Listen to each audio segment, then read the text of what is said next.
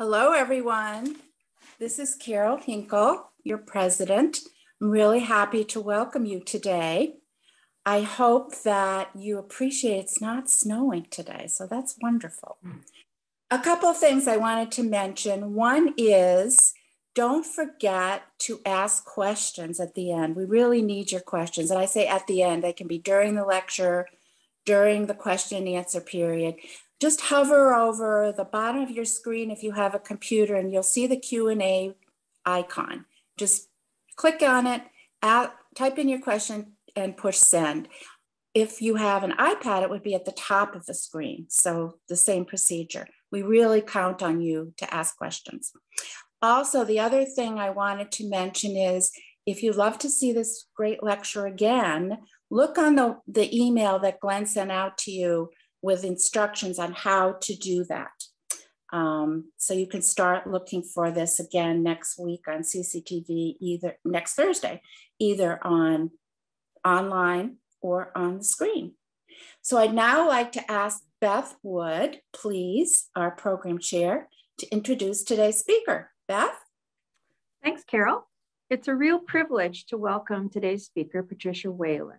Patricia served as a judge for over 20 years in the United States and as an international judge in the War Crimes Chamber of Bosnia and Herzegovina for five years.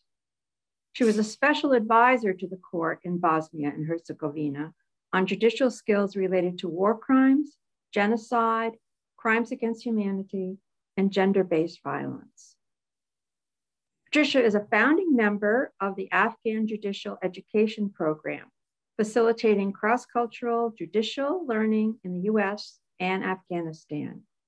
She designed and directed for 10 years the Vermont Afghan Judicial Education Program. And that's just scratching the surface of her CV. Um, she's here to talk about a lot of those experiences here today. And it's a distinct pleasure to welcome Patricia Whalen.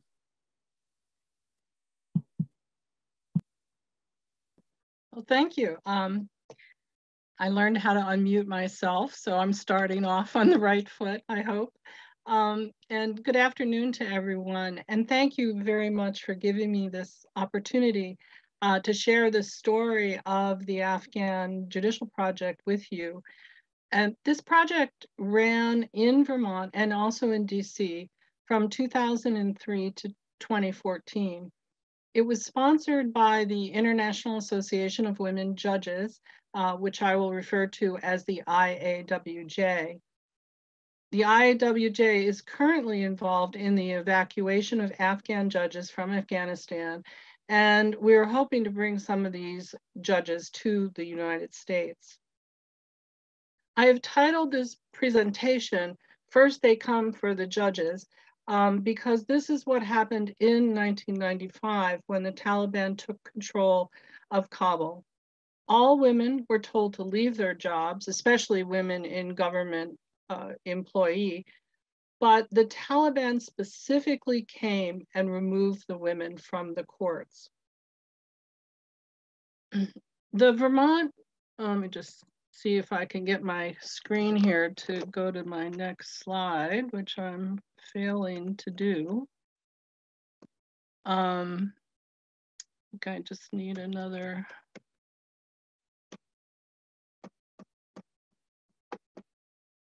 Hmm. Here we go. Um, the these are our project partners, and this uh, project was supported and sponsored by these organizations, as well as hundreds of volunteers um, it, throughout Vermont, but primarily in Southern Vermont, where I'm from. The Rural Women Leadership Institute of Vermont consisted of myself and three other women in Southern Vermont we were friends. We were all involved at the time in different fields. My partners were Julie Peterson, who was in government and politics, uh, Ann Fielder, who worked in healthcare and worked for Planned Parenthood, and Connie Woodbury, who worked internationally at World Education. We were all interested in doing something together internationally, um, and especially on women's leadership issues. In 2003, I had the opportunity to attend an IAWJ conference in Washington, DC. And at that time, I met Judge Marzia Basel, and she had she was from Afghanistan, and she was there. She was hosted by the White House, and she was somewhat like you know uh, uh, a poster judge, let's say, uh, representing the new opportunities for women uh, uh, in Afghanistan. And just as a bit of a you know history refresher, uh, the Taliban were in power from 1995 uh, to 2001. And if you remember, um, they retreated essentially after the US bombing um, for their failure to turn over Osama bin Laden. The new government that took over was heavily supported by the US and Western countries. Um, and that continued until the recent takeover uh, by the Taliban this past summer. Um, Marzia in 2003 was uh, the kind of the first wave of women to have her rights restored. I, when I met her, I asked how could I help, and she had replied that I could help with judicial training. And we talked a little bit about like what would that look like, uh, and what what type of training did she think was appropriate. She had already been exposed in DC to uh, some judicial opportunities uh, in the United States, and she felt for the most part that the courts in our larger cities were too in, would be too intimidating for most of the judges. And in fact, at that time, I learned that most of the courthouses in Afghanistan did not even have electricity. Uh, I told her about Vermont and said, well, we did things at a bit slower pace and we had very unfussy courtrooms. And I think Vermont turned out to be a perfect laboratory for learning about the rule of law. Um, my friends, the group back in Vermont, they wanted to also do something uh, broader than just judicial education. Uh, we were interested in sharing our lives with them and we wanted them to see how we live. So we had them stay in our homes. They did not stay in um, hotels or inns. Um, we wanted them to meet our partners, our children. We wanted to share cooking with them and just see all of the places where we believed we would have common ground. And we also wanted to share our problems, what type of problems we had, uh, perhaps personally, but broader as a community, and how we would resolve those problems with the hope that they would also share theirs. So let's see. Um, whoops, I'm getting there. So this is um, a year later, after 2003, um, and with, with many volunteers over that past year, um, we began hosting the first group of judges. And these, um, oh, you know what, I have to stop this. Sorry for my inadequate um, skills here. Um, I wanna go back for a minute. Um, this uh, was at Hilltop Montessori. This was a, a private school in Brattleboro, Vermont. And uh, we took them to both public and private schools and we discussed issues in education. And we talked about how taxation works or doesn't work. And of course, like it was Vermont, so we did a lot outside. We walked a lot, we hiked a lot. We were often in the woods which was a very new experience for them as these were very urban judges. And, okay, uh, this is also uh, taking place at Hilltop. And I put this in here to mostly show you my son. He's the boy that's showing um, them how uh, they built a bread oven. And he was talking about how the oven worked. Uh, standing next to him, with the headscarf on is Judge Anisa Razzouli. And um, uh, Judge Razzouli was a very young judge in 2004. Um, she is the only judge that's been nominated to the Afghan Supreme Court. And in fact, uh, she was nominated twice, uh, once under Karzai. Uh, the vote failed by a few votes in their parliament. And she was again appointed by Ghani. Uh, that vote never came to pass because of the takeover by the Taliban. In this picture, um, she's also explaining how they bake bread in Afghanistan and they were sharing recipes. And this experience stayed with my son. And today he is a software developer, but he created and managed as a volunteer the huge uh, database that we're currently using of over 1,400 people and contains all of their documents, which uh, essentially fuels our evacuation. Now, one uh, um, object um, and goal of this project was actually to create a network among the judges of supportive and lasting relationships. And uh, we, since we're all friends with them years later, um, I think this, this is one goal we achieved, um, as well as them beginning to establish their own network within Afghanistan. We wanted to have fun, so we wanted to play sports. We took them bowling, we uh, did yoga, we played volleyball. Um, it was great fun.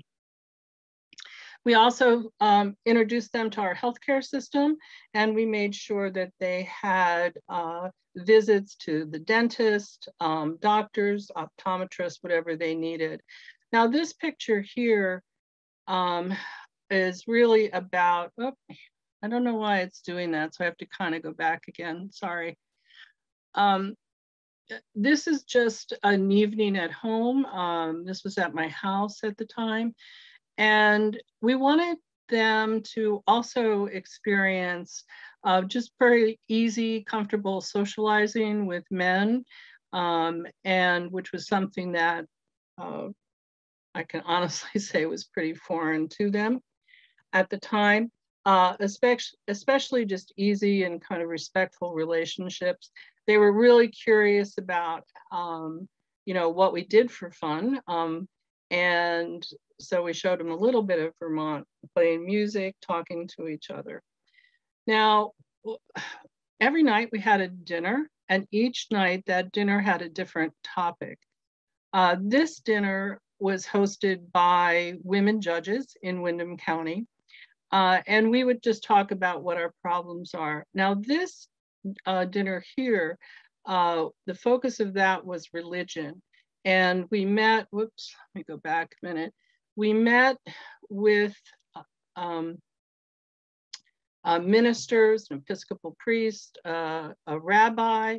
Uh, we brought together different women from different faith communities. This was a very interesting uh, evening because we talked really about our faith as children. What were we raised with as children?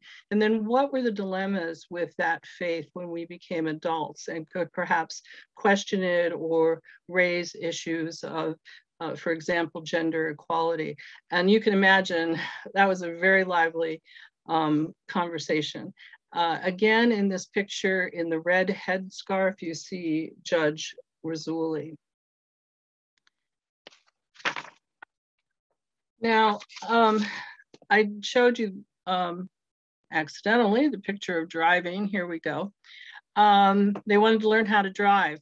Um, this picture was taken in 2006.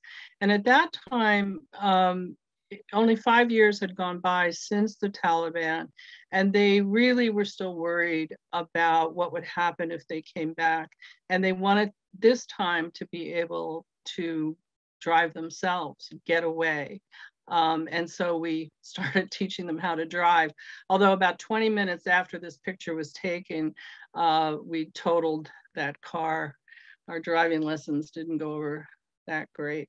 Um, the core of the program was uh, the rule of law, of course, and they witnessed, they came to court with us. They, we exposed them to all of the courts in Vermont, the Supreme Court, the Superior Court, District Court, Family Court. And we really focused on what areas of law that they were interested in and then tried to match them up with hearings. We had lectures. Uh, many were delivered by um, the our other judges in the Vermont system. They gave generously of their time.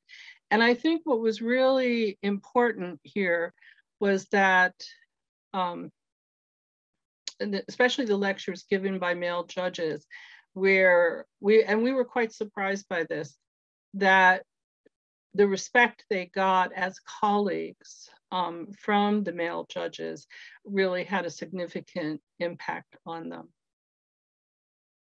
The program, as I mentioned, also uh, went to Washington, D.C. And uh, here they are. They were hosted by the US Supreme Court, by the women justices. And here you see Sandra Day O'Connor and Ruth Bader Ginsburg. Uh, they were lovely. And every year we did the program, uh, the women justices at the court uh, hosted them and had a special tea for them. And it was quite meaningful.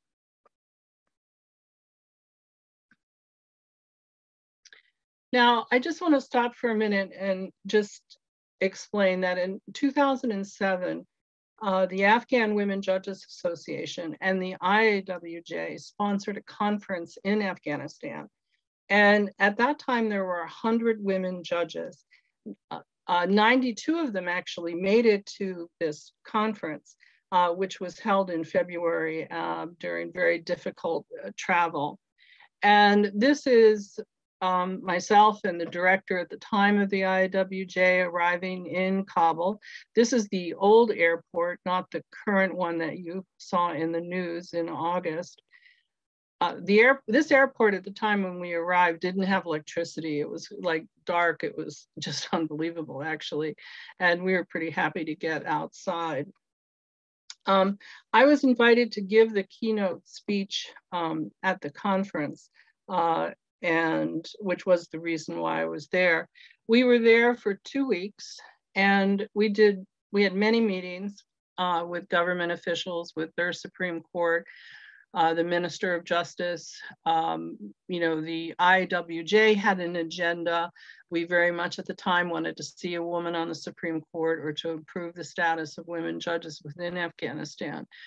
Um, our um, we also had funded um, through the assistance of the US State Department a program for young girls throughout Afghanistan.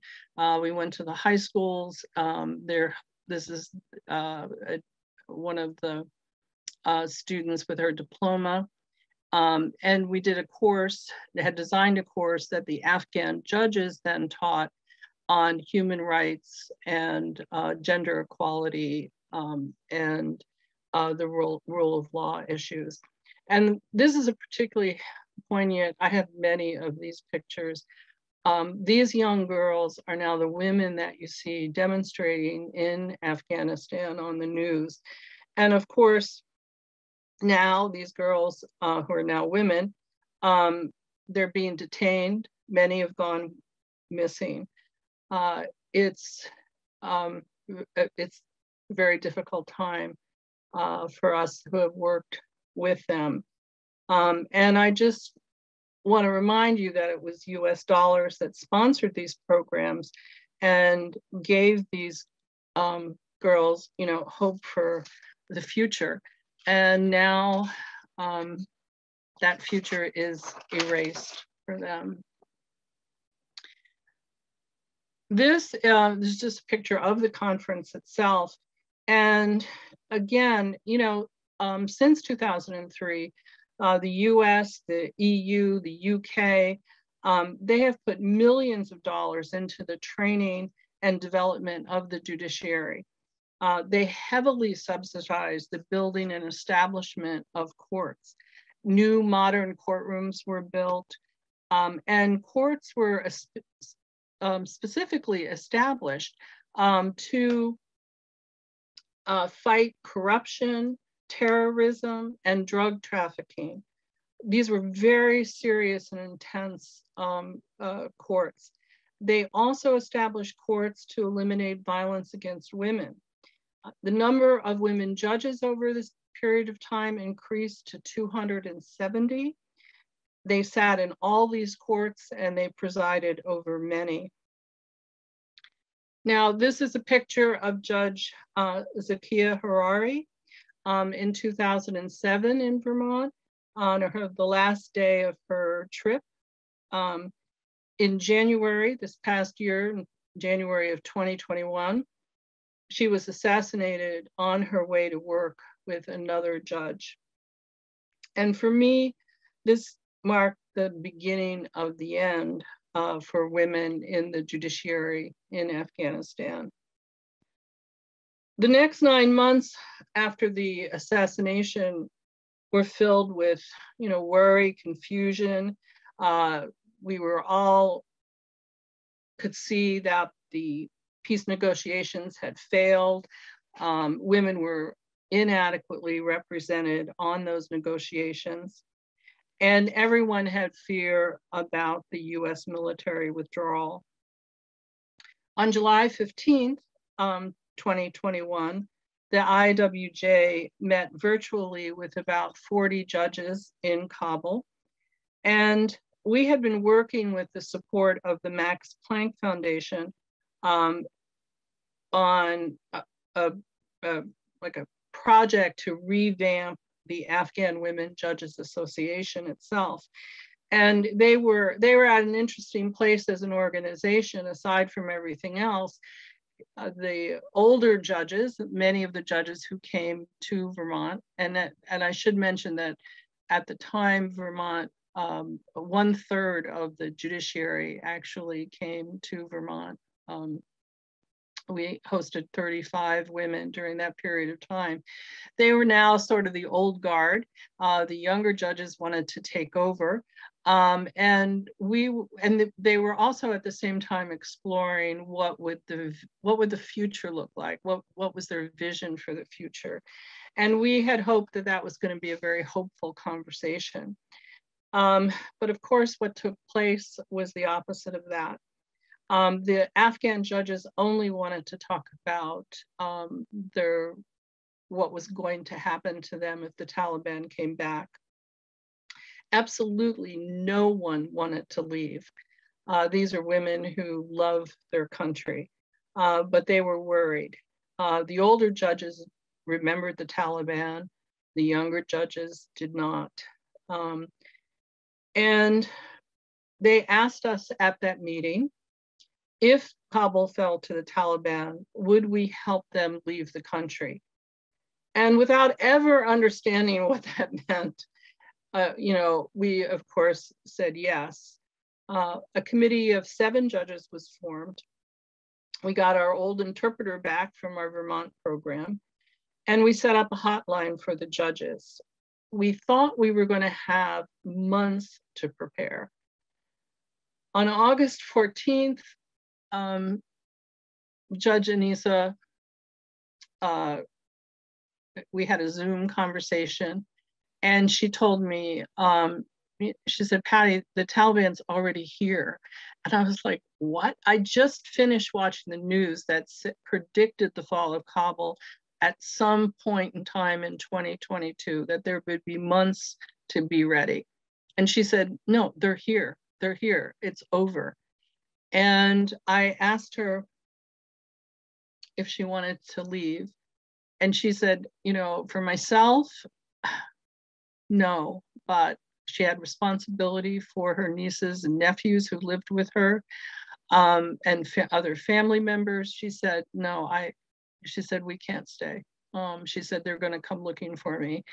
Um, and in fact, that turned out to be true.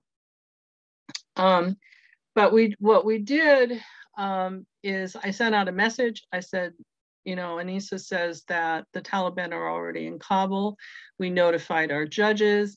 Uh, we told them to um, start uploading all their documents to us. And this is the project that my son did. Uh, we were very worried, or they were very worried if they were caught with their uh, court IDs um, diplomas, their educational uh, records, uh, that that would be used against them. Uh, so many of them destroyed those documents or they buried them or they hid them. Um, and uh, we asked them to send all of that to us so we could have it available to them for the future. And uh, so on August 15th, as we all know, um, all hell broke loose. Um, and I, so, I assume most of you followed the coverage at the airport. Um, the first thing we did was contact Senator Leahy um, and asked him, how can we get people um, out? How can we get people into the airport? Um, and he had connected us with someone who actually was on the State Department side that was located inside the airport. And through um, many conversations, um, we learned that if we could get our judges into the airport, um, they would be able to get them out and into the United States. Our team at the time, just so you know who the seven judges were, um, we were internationally um, a group. Uh, the uh, the head of our team is the president of the IWJ, uh, Susan Glazebrook, and she's on the Supreme Court of New Zealand. Uh, we had judges uh, from Australia, uh, the UK, Spain, Canada, um, and I have another partner judge in the United States, Judge Vanessa Ruiz, um, who uh, is on the DC Court of Appeals. And Vanessa as well had, uh, she was uh, worked in the DC part of the program uh, for the same years that, uh, that I did. And we all knew these judges. Um, I think between all seven of us, we knew most of the judges in Afghanistan. You know, we just had no idea what we were doing. And I think that was true for most of the civil society groups that were attempting to get out their friends or their colleagues from Afghanistan. The truth was, we were doing the work of governments, and there was no government, uh, at least initially, that was willing to help us. So, this is what it looked like. We were um, told to get our judges to the airport. Uh, this is what it looked like on the outside. They were um, uh, had to go through a gauntlet of Taliban at different stages. Um, this particular, what you're looking at here is Taliban just um, arbitrarily, they're beating that old man with a whip uh, they have these flat boards that they were threatening women and hitting women. We did have judges that were beaten.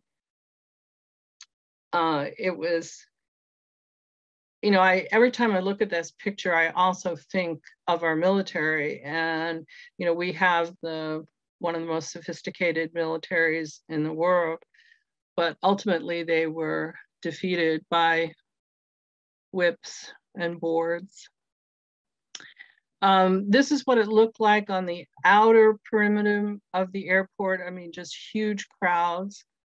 And you begin to see that among these crowds, um, it was extremely difficult for women and children. They were just crammed in there. We were told that they needed to get to a gate. Um, and, you know, how could uh, you know, women and children really do this. And if you look at this picture here, and I've looked at this picture so many times, I mean, this is like the enter, the, the how you would begin to enter um, towards a, a path to a gate. And I can't even see any women and children here. Um, it was just, it was quite difficult for them. Um, this is a picture at the night at night and somebody standing in the sewer, and I'll talk a little bit about that. Um, the average time to get to a gate uh, was between 20 and 28 hours. Very, um, very difficult experience. Um, if you can just imagine, first of all, just standing for that length of time um, alone. Now, I don't know if this is going to, I'm going to try to do this. Uh, this one may not work. I have, oh, here we go. I have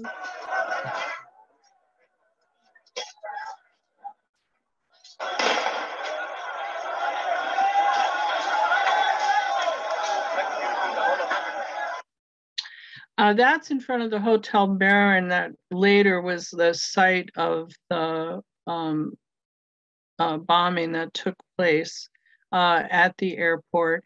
Uh, but I wanted to show these to you. Wait a minute. Um, let me show you this one, mostly because the pictures I'm showing you of the airport are obviously silent pictures, uh, but the noise, the gunfire, the confusion that was going on was constant. It was the whole 24 seven that while people were trying to push their way into the gate, this is what they were hearing. And hopefully I can get this going as well.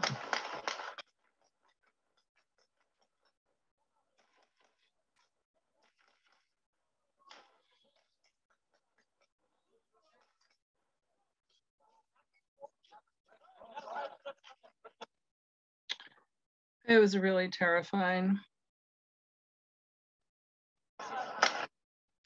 Um, this is a closer picture of the sewer. Um, as uh, people got closer, uh, they actually had to get into this. This is an open sewer.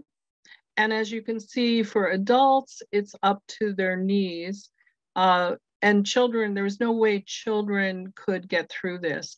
Uh, if they walked in the sewer, they uh, could drown. And parents uh, could only get through uh, if they had enough arms to carry their children. And uh, some of these families had four or five children, and it was just impossible to, to do that. And these were open sewers, so it was filled with exactly what you expected to be filled with. Um, it was just pretty disgusting. Again, here are people carrying children, standing in the sewer, um, uh, trying to continue to make their way to a gate.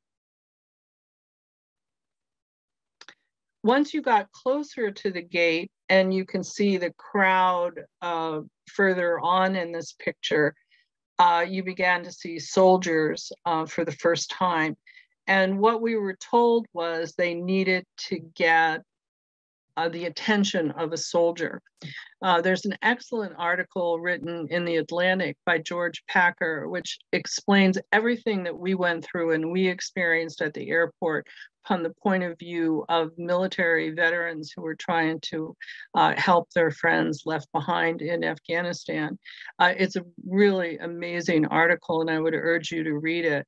Um, the uh, people that were in the military that were trying to assist other SIVs or other uh, people that they were trying to get out of Afghanistan, they had the advantage in that they could actually contact uh, these soldiers on the wall. They could, you know, call up, find somebody that knew somebody that was on duty and get their attention that way. We didn't have those resources. None of us were in the military. Um, but we did get help and assistance from the Polish Special Forces. And that was because a judge and uh, a lawyer actually in Poland um, offered to help us and had contacts uh, with the Polish military. Uh, this here um, was the bridge, and you can see uh, the soldiers standing on the bridge and they're clearly looking for people. They're calling out to people. They're holding up um, some sort of card or ID. I don't exactly know what that is. Um, they might actually have a list, so they were calling names out if anybody responded to the name. Um, it was a very chaotic scene we were told um, we needed some sort of code, some sort of way to get the attention of the Polish soldiers. They instructed us to um, have our judges and their family members uh, write uh, this symbol that you see, which is the first letter for judge in, um, uh, in Polish. Uh, and also to put a PL um, outside their names. Now, night was coming on and we were pretty worried that no one would actually see this. Despite the fact that they would be waving their hands uh, we were worried that this uh, wasn't enough. So the polish uh, soldiers gave us a code word to use. And it was krakow and the soldier at the time said to me yes, Krakow, because because we'll never forget. And I think at that point, that just the enormity of what we were doing and trying to do, it was just overwhelming. Um, it was really the only time I broke down and just sobbed, really. Um, but uh, this is what got the attention of the Polish soldiers and did allow some of our judges to get um, through. Here we are inside the airport. Um, I understand the airport was just, I mean, there was over 100,000 people inside this airport. Uh, this small section here was uh, where the Polish soldiers were staying, um, and they gave their cots uh, to the people they rescued. Now, um, uh, just uh, let me maybe just go back for a minute here. We were able to get about 10 judges um, and 50 members of their family out uh, through the help of the Polish Special Forces. Another eight judges got through uh, with the assistance of other groups such as Team America. Uh, and those judges were able to come to the United States. A few judges got assisted, uh, were assisted by the Romanian government. There had been a project that Romania had sponsored on commercial courts, and they needed to evacuate their entire staff that was in Afghanistan, and they took many of the people that worked on this project as well, many of the Afghans. There were a few judges that had visas to the UK, um, and they were also able to get into the airport and were evacuated. All of these evacuations were miracles. Um, they were really a testament to um, their the judges' perseverance and, frankly, luck. Now, since the airport closed, um, all the judges are in hiding. Uh, the Taliban is hunting them, all, and it goes in spurts. Uh, um, almost immediately uh, after we got Judge Rasuli out, she um, and and I just should say here, I'm really grateful to Poland um, because they were not able to get out themselves by getting to a gate in the airport. They had too many small children. Um, they were primarily uh, women and children. They, uh, but the special forces came out into the city and grabbed them and took them and brought them into the airport. Um, and we're very grateful for that. Um, again, though, since the airport closed, um, uh, all of the judges are in hiding that are that remained in Afghanistan. And this is uh, one of the judges' homes after the Taliban came in and uh, searched it and, uh, you know, looking for the judge who fortunately was not there. Their bank accounts are frozen.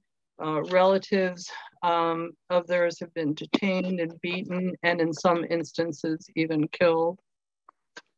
This is a letter from the Supreme Court uh, to uh, notifying another court that the Taliban has ordered um, uh, and uh, one of the judges there to be assassinated. Uh, and this is quite common. We have several of these letters, um, and it's very disturbing. Uh, almost immediately over the takeover of Kabul, the uh, Taliban took over the Supreme Court itself. So they had all of the personnel records of the judges. Now, um, Good. I just want to say that the um, what we've done since this time is very complicated. Um, we have gotten out approximately 160 judges and their families. Um, that that the total group of people is about 800. Um, most of them are in uh, temporary stays in countries awaiting visas for permanent resettlement. Um, since the withdrawal, the US has not let any women, uh, or any of the women judges into this country. We have 90 judges still in Afghanistan with about uh, 500 family members. So um, this is for us an unfinished story. Our, our team uh, continues to fight. We have it, now it's visas, visas, visas. We are going everywhere looking for visas. We have judges in countries uh, from Korea to Brazil to uh, Albania, Kosovo, uh, Greece, and the UAE. Uh, none of these are permanent, uh, and Poland. Uh, none of these are, uh, the judges there are there for permanent resettlement. Most of them speak English and they want to go to English speaking countries. Uh, and it's primarily Australia, New Zealand, the UK, uh, Canada, and the US. Australia, New Zealand have been taking judges and they take a few all along. Uh, also, many judges want to go to Germany. They have family there and as well. Uh, the Germany is just beginning to again take a few more. Uh, the UK, uh, we're hoping that they will take a few more judges. All of this is very difficult. I mean, we're five months. We can't get them to open their doors. Uh, Canada is just beginning to take a few judges. Uh, I'm very hopeful that the US will eventually uh, give us a path forward to get our judges into um, the United States. But as I said before, there's been no judges allowed entry into the United States um, since the uh, airport was closed. We actually, I should take that, today actually we had one judge that uh, uh, she's in the air, but I assume she's going to land uh, this evening in San Francisco. Uh, she's a recipient of a uh, fellowship program at Berkeley.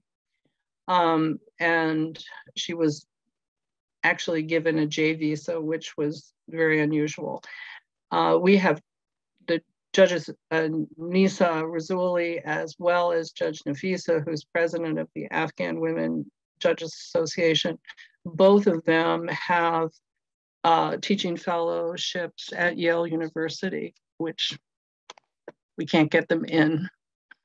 Either can Yale. Uh, so I just want to leave with a few hopeful pictures here. Uh, this is Judge Rasuli uh, in Poland. Um, they uh, Poland has been really great uh, to our judges, and uh, they're have been very kind to help them with resettlement issues. Um, but Judge Anissa wants to come and has host families and everything waiting for her in Vermont, and that's where she wants to be. Um, these are two judges that were resettled in Ireland. Uh, the front, the, the judges in the front are Irish judges that are their sponsors. Uh, and in the back, you see the two Afghan judges. Uh, this is these are just pictures this week. Uh, this is a little girl that arrived in Vancouver meeting a relative. This is the first judge we've been able to get into Canada. And this is the family here uh, arriving. So I wanted to leave this on a very hopeful note. Um, but the truth is, as I said before, this is an unfinished story. And we have a long way to go with a lot of unknowns. Thank you.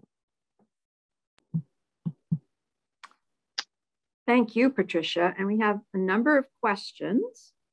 Um, for starters, how were the Afghan women informed about opportunities for them in legal careers and how did they receive a legal education? Uh, in Afghanistan? Yes. Yeah. Um, well, they there's universities in Afghanistan. Uh, Kabul University is a well-known school, and uh, they are. It's a civil law country, uh, so they uh, train their uh, lawyers a bit differently than we do here.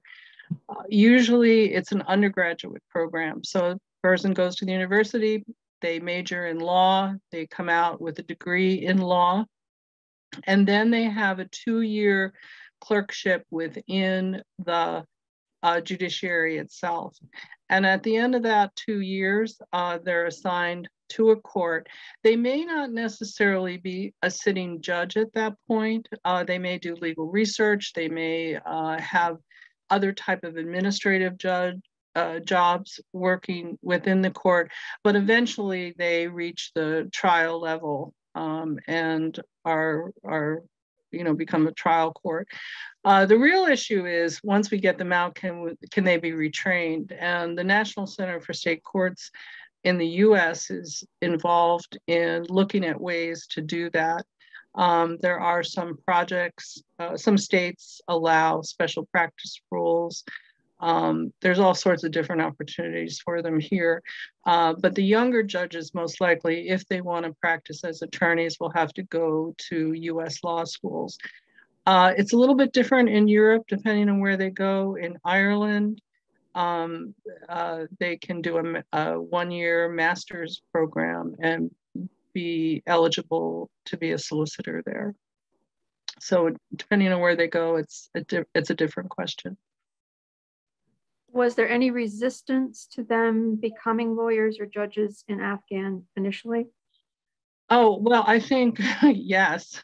I mean, when the Russians uh, uh, uh, took over Afghanistan, you know, they had many um, uh, opportunities for women to study and do advanced study. Um, so the older judges uh, went to school and uh, and studied law. There was Sharia uh, schools of law. Uh, they were very well educated. Um, and so after 2001, uh, there were positions available to them. And, you know, the Taliban, in the six years that they ran uh, the country, they appointed many, many judges that were, by and large, mostly illiterate. And I don't think it was in, it took them years to actually change the law in Afghanistan to say if you're going to be a judge, you have to know how to read and write.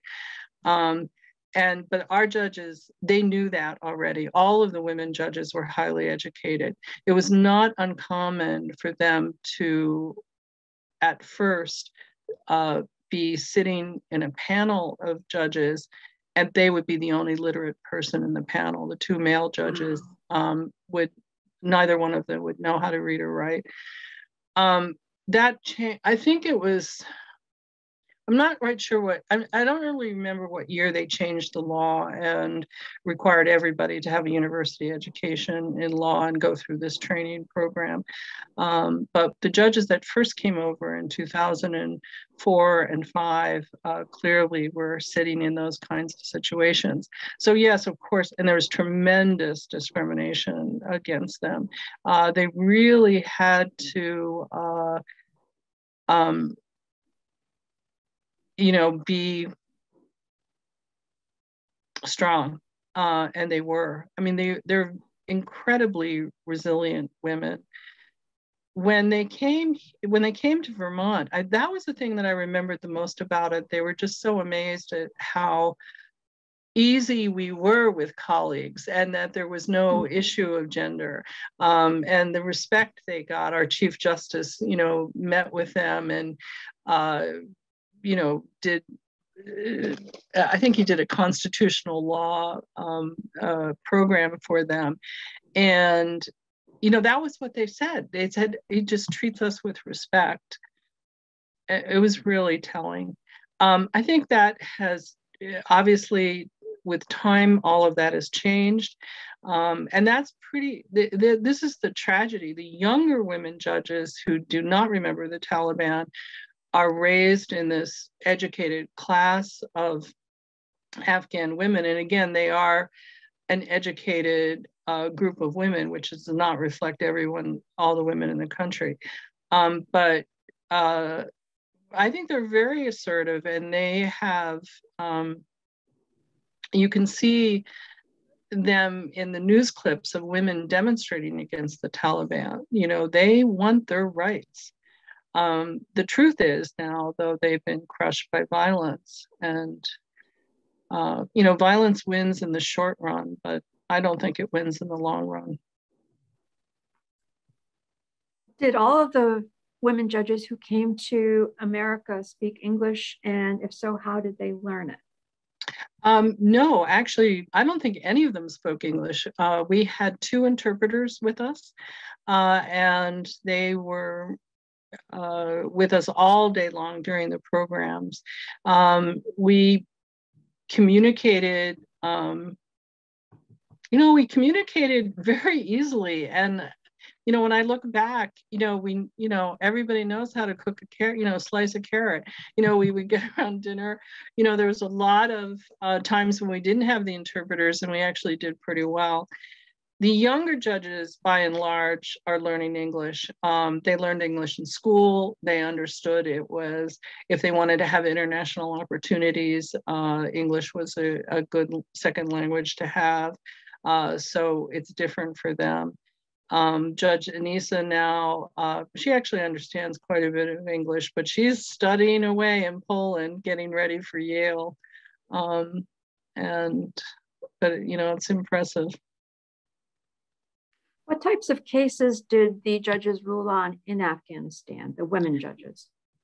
Um, well, they were appointed. I guess I can take, I was going to take off this, um, the PowerPoint. They, uh, uh, sat in all courts. Uh, the only court that there wasn't a woman on was the actual, what they call the Supreme Council, the uh, that court.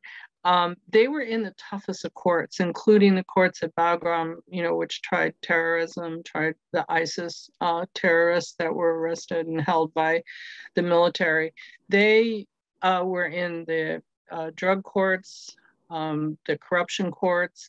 These are very mm-hmm. dangerous courts because mm-hmm. these are courts that deal with corruption within the administration itself, within the government itself, and uh, not easy, not easy courts mm. to sit in. Mm. Um, no, they stepped right up. Um, in 2000, uh, I think it was in 2010, they created um, courts against uh, that were specifically about violence against women, you know, dealing mm-hmm. with those kinds of crimes. They the interesting thing right now is the judges that are most at risk were judges that uh, sat in family court. And the reason why is because when the Taliban took over, they let all the criminals out of jail. And uh, men who had been arrested, perhaps they uh, murdered their wife, um, and were sentenced to prison for that. In the family court proceeding, the judge may have given custody of those children to the wife's family. And those children are now hidden from those men and they're released and they want those children back. Uh, so they feel the way to get those children is to come after the judge uh, because they think and it's probably erroneous, uh, that the judge will know where those kids are. So uh, they're under a lot of risk, uh, at risk. Um, but at the same time, uh, they put, I mean, just to give you an example, the day the Taliban came to some of the provinces, judges were still sitting in court. And one judge told us that she did her, even though she knew the Taliban was literally in the town, she sentenced uh, a member of the Taliban uh, for uh, criminal, uh, uh, some sort of criminal behavior. And he said to her, okay, today you sentence me, tomorrow I sentence you. And she didn't even go home. She called her family and said, pick me up and leave. And uh, they left uh, that village for another part of Afghanistan. So um, they're pretty brave, brave ladies. Absolutely. To what degree were the Afghan judges on, under surveillance and have their were they having their phones and their online activity monitored before and after the fall of Kabul? Well, that's a really good question. Um, we communicate with them through Signal, um, which is a um, you know more uh, heavily encrypted um, text program, and you can call as well on that. Uh, you know who knows um, right. You know, my my feeling right now is that the Taliban, the type of institutions they need to run a country, and one of those is security and intelligence services.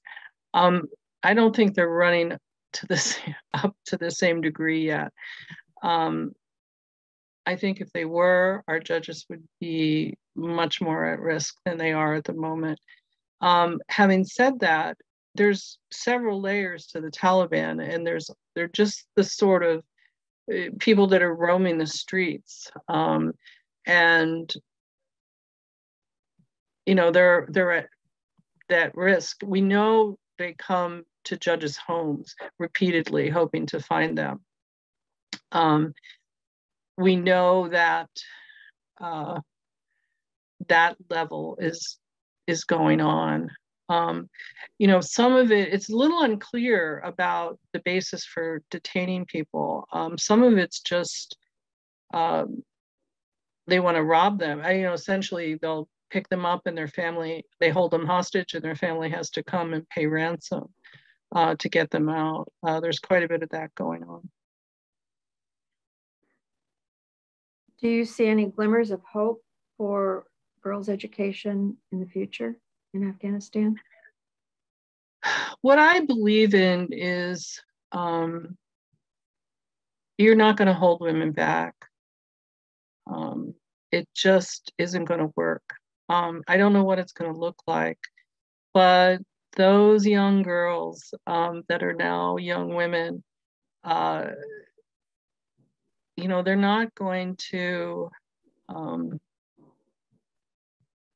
I don't think they're going to stand for this. Um, hmm. you know, I don't know what that looks like or what that means. I think that uh, right now there's some preliminary, um, you know, I lost electricity during this, and I don't know if you're hearing that. Everything. We're hearing you just fine. Okay, great. Everything is sort of turning on around me. like, no, we can see you and hear you just um, fine the uh, you know there are some schools are being allowed to operate it's very random uh, the taliban has i believe said they that girls can be educated up until the sixth grade, but probably only in certain subjects. Uh, some of the universities are operating partially where women have to be um, they're sitting on one side of the classroom and they're divided by curtains um, and they have to be covered totally. I mean, it's all sorts of, you know, things like that. Um, you know, it, I think what ha- it's going to depend on who actually gets control of the country because there's different factions within the Taliban right now, and I'm certainly not an expert on this to talk about it, but I think those those factions could be easily explained as uh, slightly more liberal or what they call the Taliban 2.0, um, but also what we think of as the original Taliban, more violent, more restrictive. Um, and it's, I don't know who's going to win that battle, um, but apparently it's it's going on. I don't, I just don't know what it's going to. I mean, that's part of the problem. We just don't know what the future is going to bring but ultimately, um, I think the oppression of women um, is not going to serve them. Um, you know, not to mention the practical aspects of how many women in the country actually worked and did the work of government. Uh, and they are they've deprived themselves of that entire workforce uh, the passport offices, you know, they have a hard time staying open. And I think that's because many of them were staffed by women who actually knew how to issue a passport. I mean, wow. you know, unfortunately. I think we're out of time, but thank you for just a, such a thought provoking presentation. Patricia, we really, really appreciate it. Oh, thank you for the opportunity um, to do really, this really good to have you cover this material and give us uh, an inside perspective. Yes. Thank you. I agree. Amazing. You are an angel, a true angel. Mm -hmm. Thank you, Patricia, and good luck. Keep us posted. I will. Thank you. Want to know how this how this unfolds. Thank you again. Thank See you. you, everybody, and happy Valentine's Day. Bye, everyone. bye bye.